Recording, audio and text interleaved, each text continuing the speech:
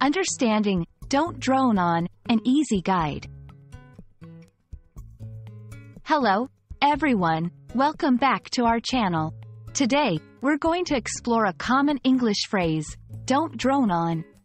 This phrase is used quite often in everyday conversations, and understanding it can really help you in both speaking and comprehending English. Let's dive in. Don't drone on is a phrase used to advise someone not to talk about something for too long in a boring or monotonous way.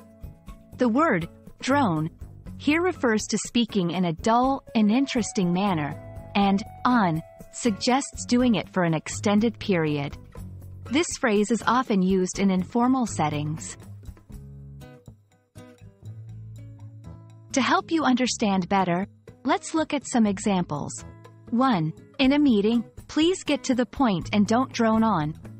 We have a lot to cover today. 2. During a presentation, keep your audience engaged. Don't drone on about facts. Add some stories or jokes.